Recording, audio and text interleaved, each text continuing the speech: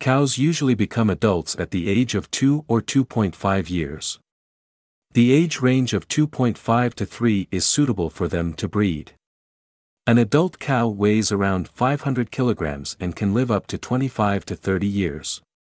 A cow is called a calf when it is newly born, then a heifer and a cow after giving birth.